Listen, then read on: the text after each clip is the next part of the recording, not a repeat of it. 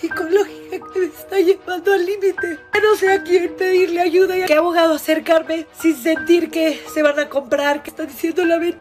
Cuando lo único que estoy pidiendo es lo que se merecen mis hijas. No estoy pidiendo nada más. Yo no fui mala mamá, yo no fui mala esposa, ni fui mala pareja. Nunca falté a mi casa. Ya no sé qué hacer. Me están llevando a un límite mental.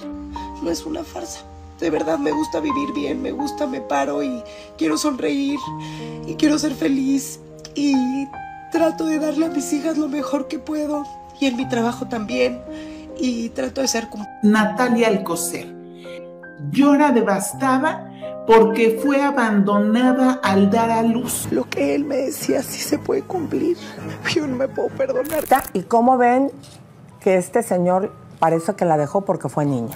Creo que nunca había pasado por esta situación en donde el tener a un bebé de un sexo en específico. En un giro inesperado, Natalia Alcocer, reconocida influencer, empresaria y participante de varios programas de realidad y ex participante de la Casa de los Famosos 2, ha compartido una impactante experiencia personal.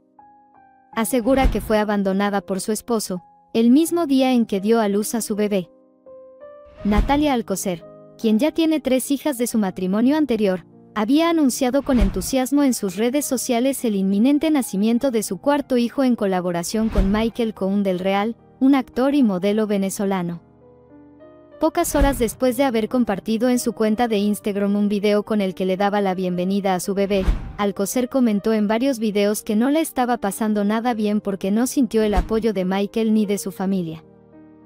Incluso dijo que su suegra siempre tuvo inclinación por un sexo, tema que las llevó verse cara a cara la noche de este jueves 14 de junio. En donde el tener a un bebé de un sexo en específico, literal.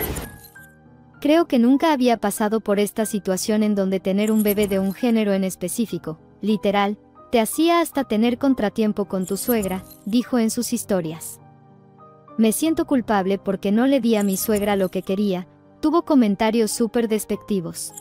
Tener problemas con tu suegra. Me siento culpable. Me están castigando porque el bebé no salió del género que querían, cuando es algo que no está en nuestras manos. Michael no me contesta, su mamá tampoco, me siento pésima, no les voy a decir cuál es el género de mi bebé, pero lo importante es que yo estoy feliz con lo que fue, lo único que me importa es que esté sano. Es una tristeza sentir el desprecio por el género de mi bebé.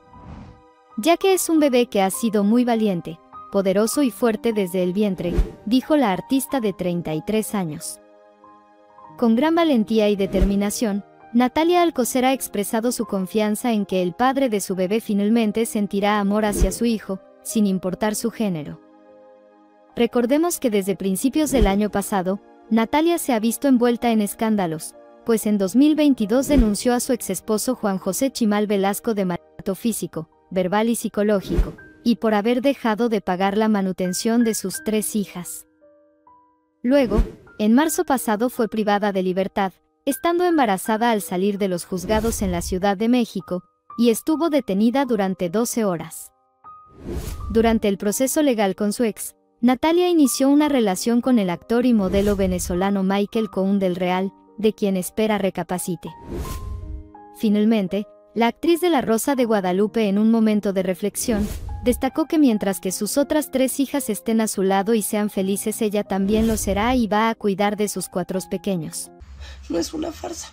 De verdad me gusta vivir bien, me gusta, me paro y quiero sonreír y quiero ser feliz y trato de darle a mis hijas lo mejor que puedo y en mi trabajo también y trato de ser cumplida y trato de ser amorosa y trato de ser eh, buena mamá, buena amiga, buena pareja, buena persona.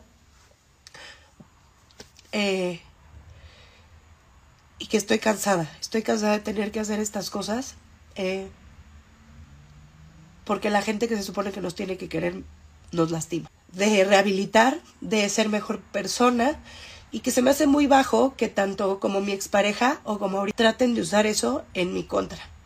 Tuve problemas con mis sentimientos y los desfogaba con el alcohol, a lo que me traté de, de qué voy a hacer y lo que voy a platicar pero eh, lo hago por cuidarme, eh, lo hago por protegerme.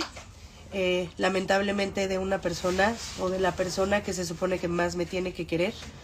Eh, violencia psicológica que me está llevando al límite. No sé a quién pedirle ayuda. Natalia Alcocer hace unas horas apareció llorando y sumamente triste a través de redes sociales. Con un video, ella compartió una muy delicada y fuerte noticia con el público. Estoy tratando de cuadrar mis ideas para no perjudicarme a mí. La guapa actriz, quien ha participado en algunos episodios de La Rosa de Guadalupe y otros proyectos de San Ángel, dejó en shock a sus miles y miles de seguidores al confesar que su expareja, el empresario Juan José Chimal, no la está tratando nada bien, tanto física como psicológicamente. ¿Con qué abogado acercarme sin sentir que se van a comprar? ¿Qué está diciendo la venta?